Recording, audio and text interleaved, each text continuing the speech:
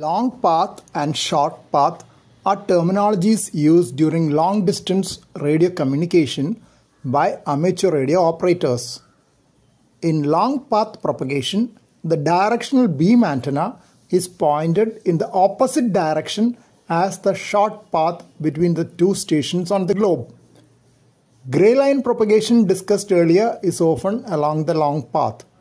In short path communication, the radio signal bounces from the F2 layer of the ionosphere to the Earth and back to the ionosphere. When multiple such hops are needed to reach the receiving station, there is quite a bit of signal loss as reflection from the ground is lossy. Short path propagation is usually through the daytime zone of the globe.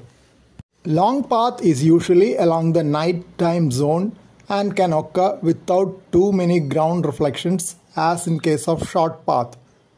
There are multiple chordal hops along the ionosphere which is less lossy than ground reflection. This is how signal received by long path propagation can be stronger than the short path.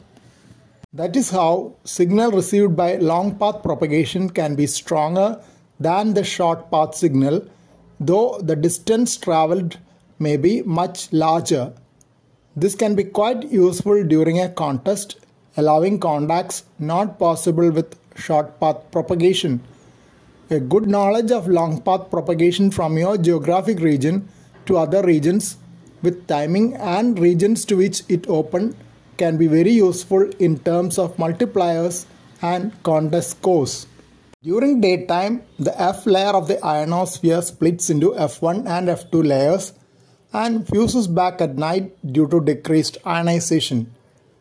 Due to decrease in ionization at night, F layer may not be able to reflect radio signals back to Earth, but it may be able to reflect it at a lesser angle to another region of the ionosphere, which could be at a long distance of the order of thousands of kilometers.